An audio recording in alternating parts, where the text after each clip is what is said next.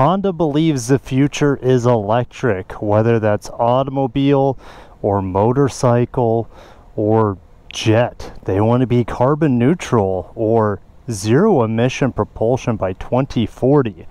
I don't believe it's going to happen. But regardless, Honda is plowing ahead. And today we're going to talk about their new motorcycle coming out in Europe. And maybe we'll see it here in the United States, maybe not. And after we're done discussing that motorcycle and its uniqueness, we will talk about is it even possible to have a fully electric future?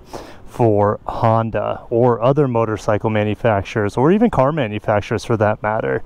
It's gonna be a fun topic today, guys. Strap up, ride safe, and who put my kids must have done that. This is a church parking lot. It would be absolutely uh, a really, really good parking lot for practicing maneuvers.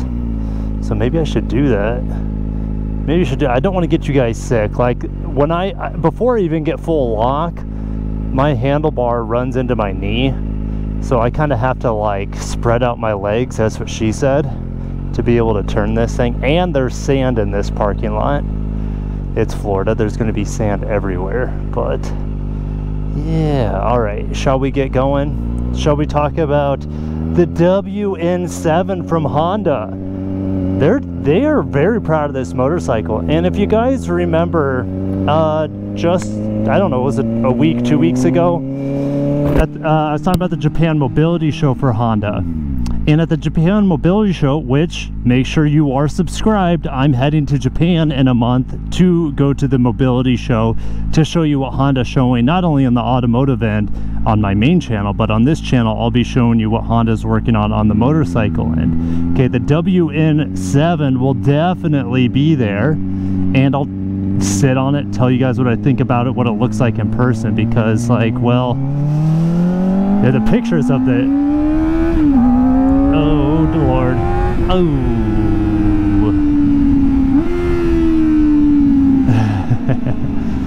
the pictures of it are, well, it, it, looks very much like the concept fun bike that they had a while back. I don't know, it doesn't, it doesn't look that amazing to me.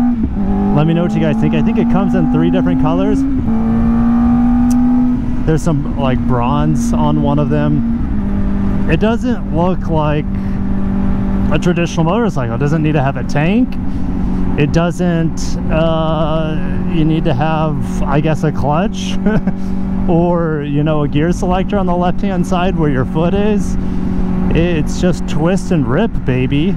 Let's talk about the uh, yeah like i mentioned it's coming out for europe first interestingly it's called the wn7 we've never seen this sort of nomenclature from honda before not a rebel it's not a cbr um ooh mercedes he's he jumped off the line there he jumped off the line that old man don't think about it, Corolla. Don't think about it. So W stands for like be the wind and N stands for naked. Okay, so naked wind is roughly what it translates to. And you know, seven, I don't know. What does seven stand for? Well, here's my guess.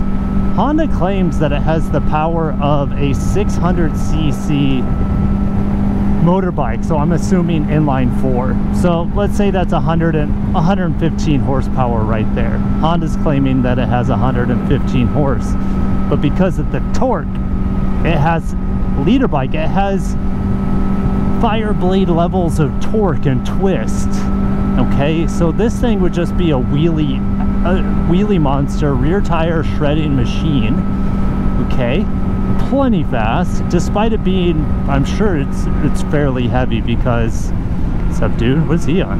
I don't know, a little V-twin action. Anyways, it's, you know, it's easy to make electrified, ooh, is this, is this green here? Oh, a little bumpy patch there.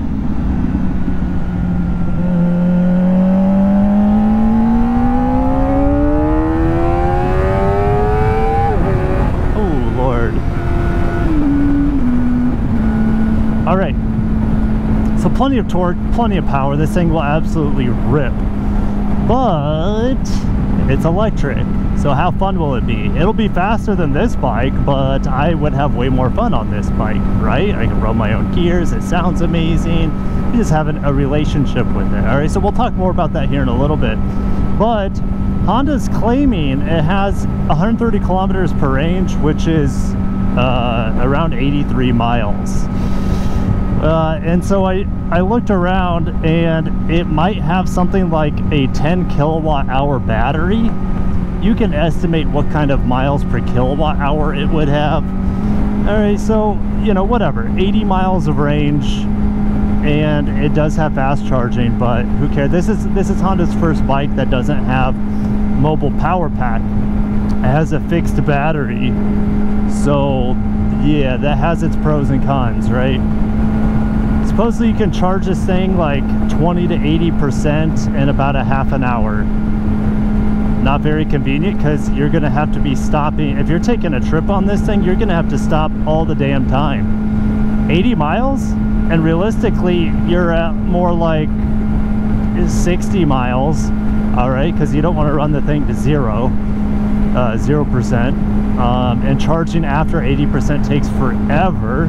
So it's like it's a complete like niche bike complete niche. It can only be used in cities that is going to really limit its marketability and that's why they they have no plans to bring it to America I bet. No plans. There's no there's they know that they the market for EV cars is not good here and let alone EV motorcycles. Look how hard of a time Kawasaki's having to sell its hybrid let alone its fully electric variant of that bike, right?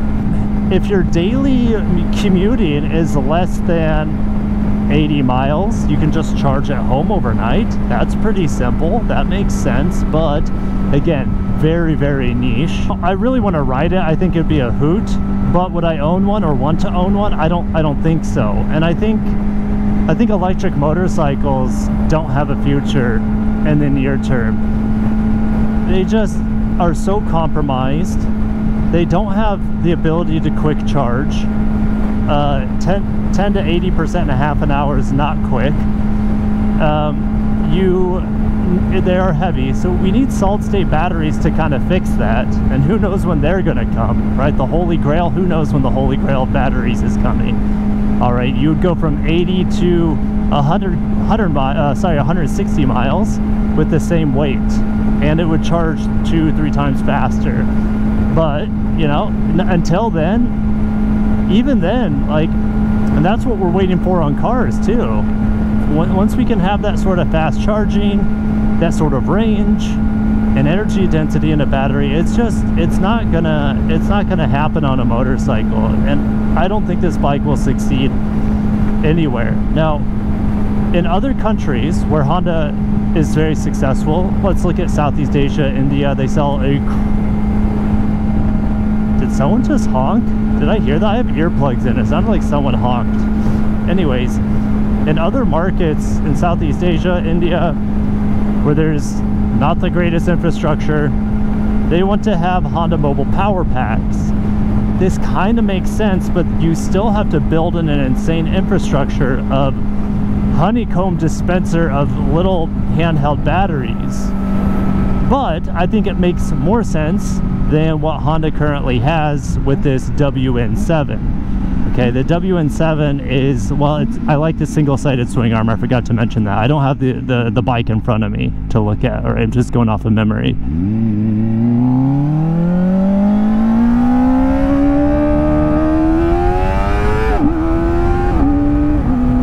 My ZX4 does some weird things sometimes when I haven't ridden it for a while, like first and second gear.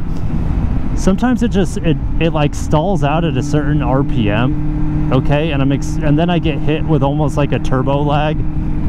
It's not the safest thing, but it's probably due to me not riding it as often as I should.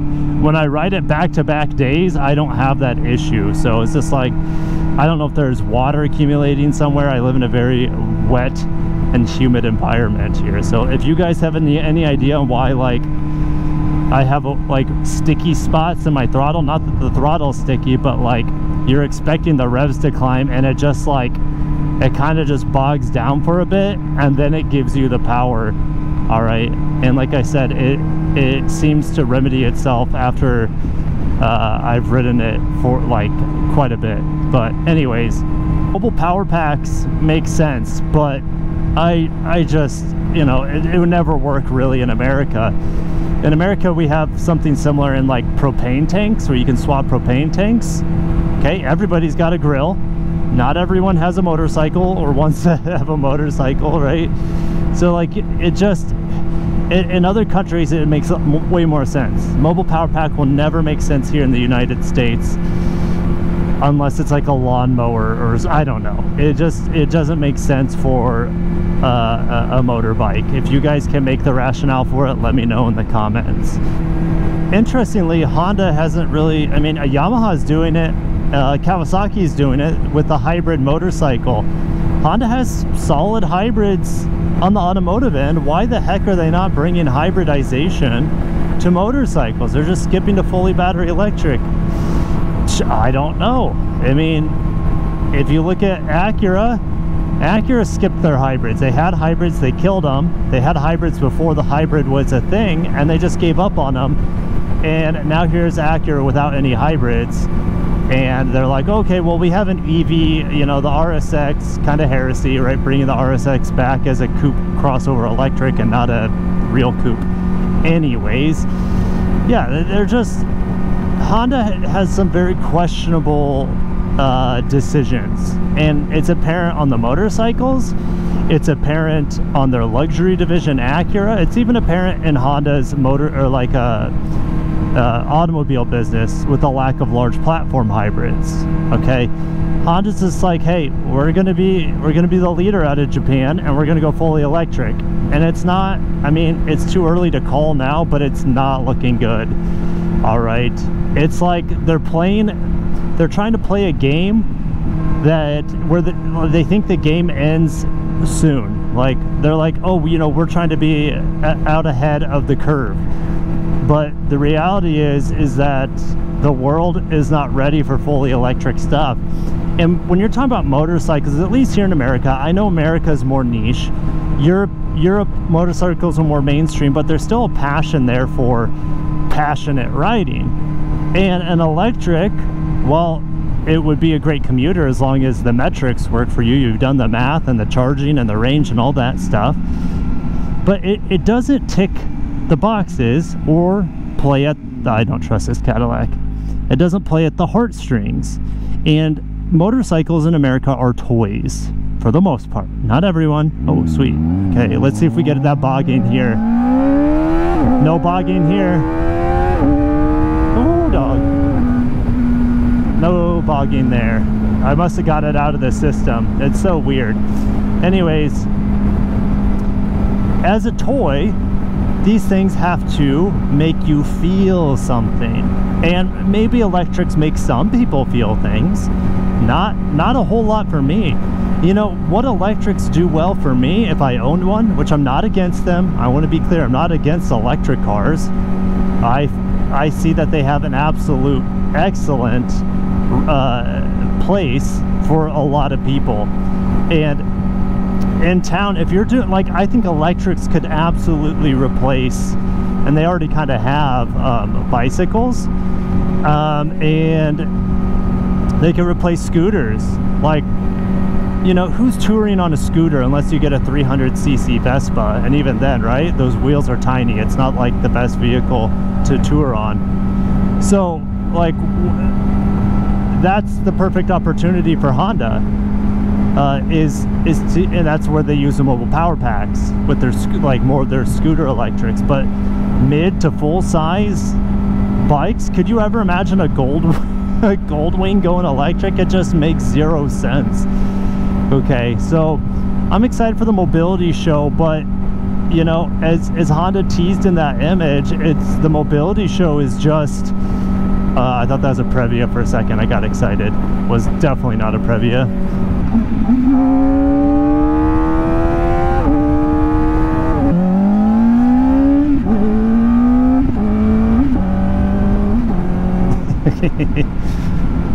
oh man. Quick shifter is nice, but it's always more more satisfactory to bang through your own gears, um, especially on the upshifts. Like this thing, I still I haven't put in the work to even get my downshifts uh, perfect because it's just easier to do it manual. But like the Grom, like single cylinders and twins, they're so easy for manual rev rev matching downshifts.